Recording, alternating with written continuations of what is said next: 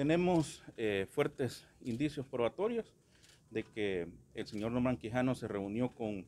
eh, los principales líderes de las pandillas, en las cuales él les hizo un ofrecimiento monetario a través de eh, personajes afines al partido Arena, en la cual se realizó una reunión en una iglesia denominada Red de Pastores, donde él sabía que se estaba reuniendo con pandilleros, ya que estos expusieron cuál era su jerarquía dentro de las pandillas y que eran los eh, voceros de los asuntos políticos de las tres principales pandillas, en la cual él se